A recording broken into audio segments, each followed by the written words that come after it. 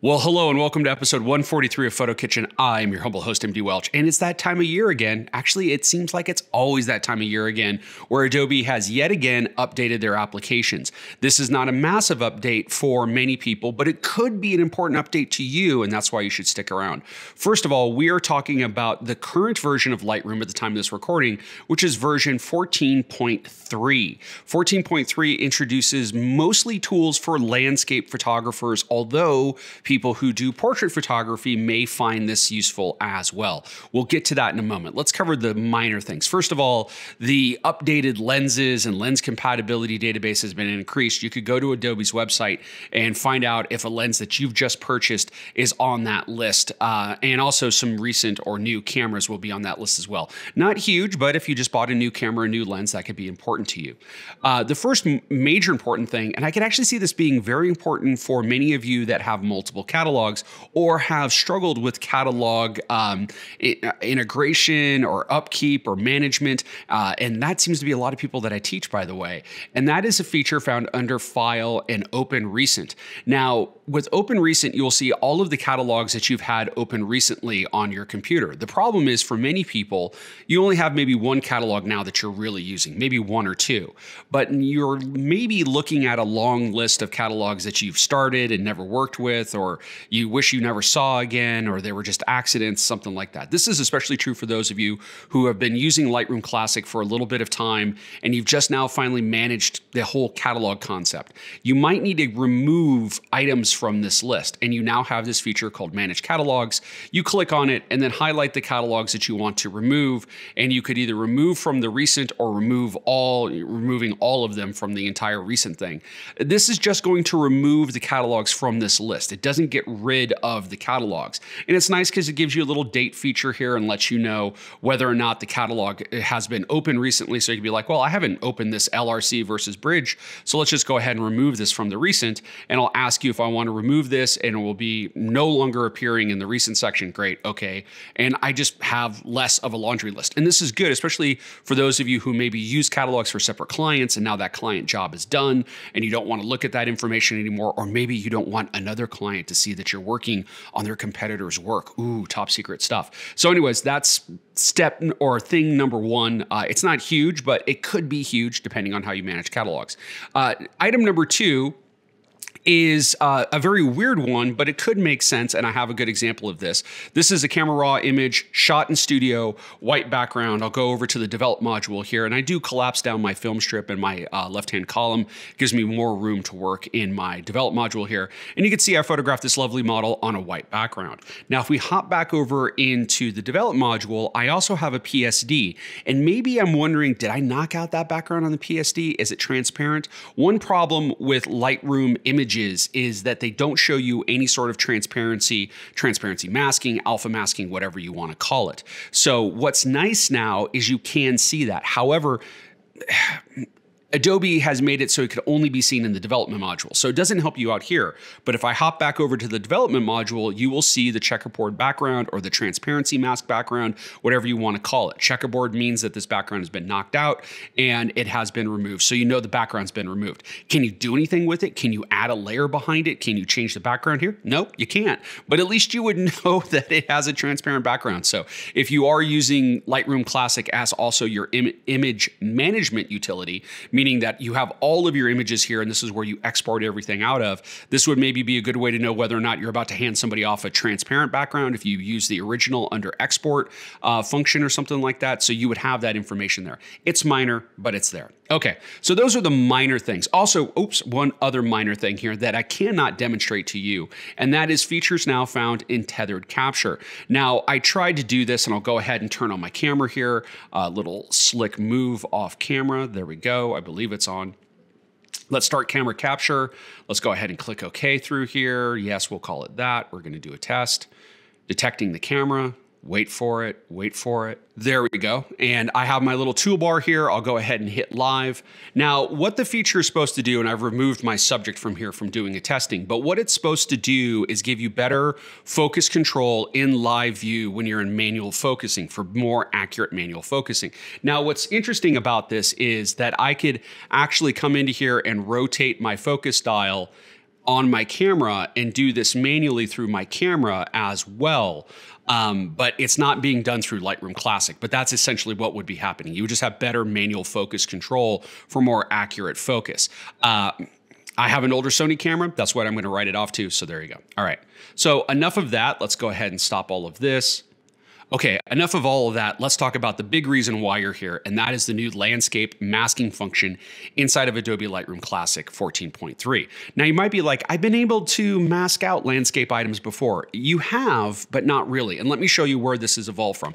I'm gonna select a quick portrait. I'm gonna come to the mask button in the develop module, and it will recognize people.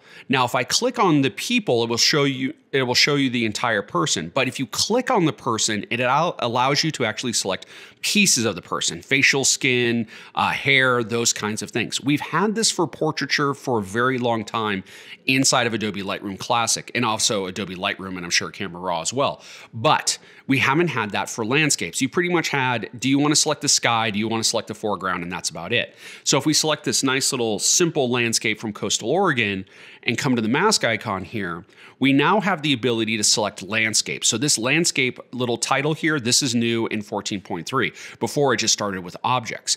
Now when you click on landscape, what's going to happen is it's going to generate a mask option for the landscape and it's then it's going to show you the items very much like people did on a list. It's going to show you the different things every image will be different. It's not just going to show you sky, mountains, architecture, and water. If you don't have any water in the image, it's not going to give you that. It might even show you paths, uh, artificial landscape, all these other kind of things. So you will get a list here.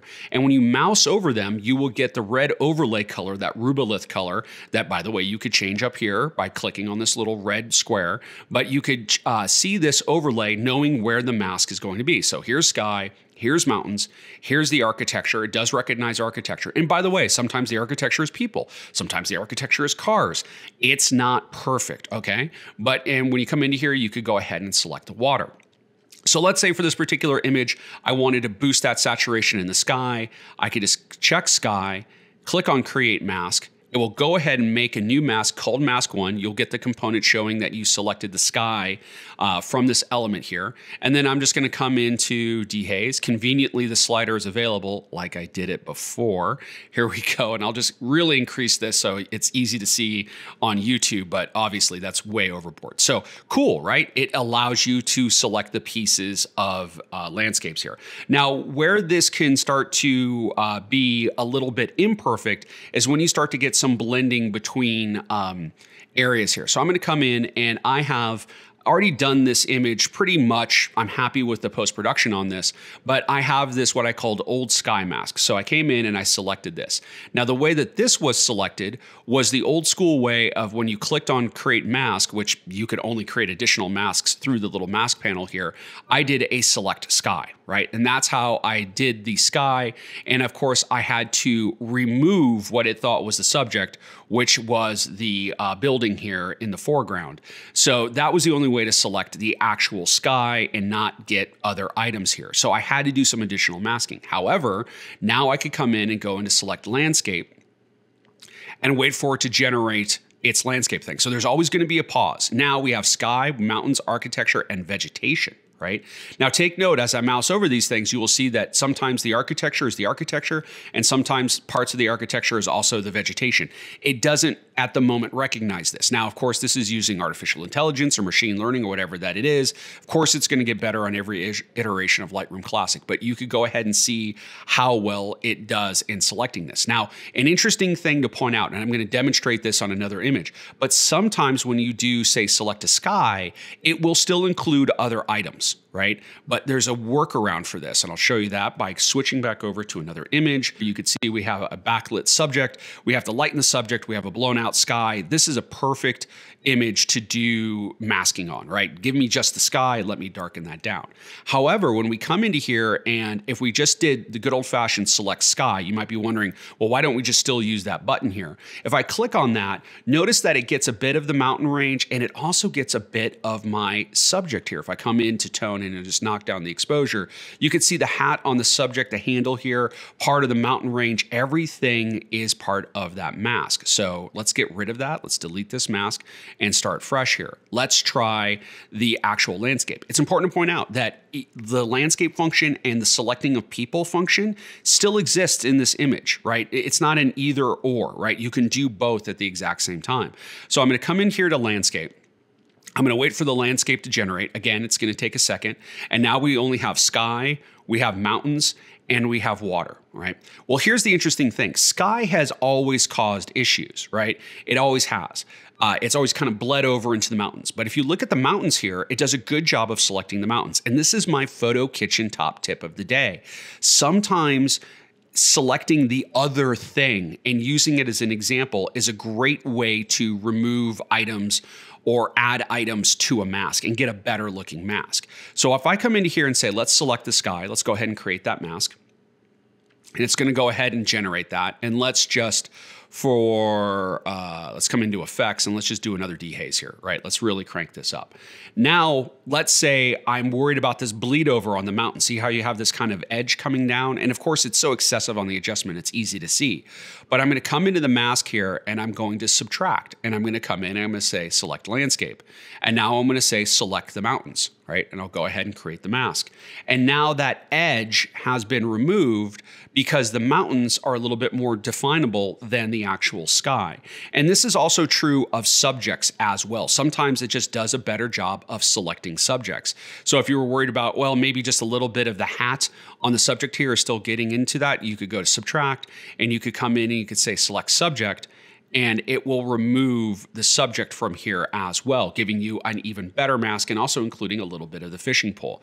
The masking feature in Lightroom Classic has never been perfect, right? But if you use the add or subtract with these tools, you can get a really good um, return on your investment. It's never going to be perfect, right? If you come into here, for example, this uh, image, which I have had with the sky before, and it's never selected the area in under where the arm is touching the hat. It's always omitted that. So it's like, okay, well, what if we try this with the new tools here? Let's go ahead and create a new mask. Since there's already a mask here, we have to start fresh or start from this list. Let's do select landscape here.